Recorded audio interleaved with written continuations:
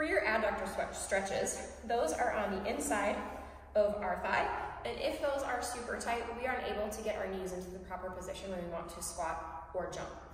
And so we're gonna come put that leg directly out to the side. You may turn your foot up or down, wherever feels best for you.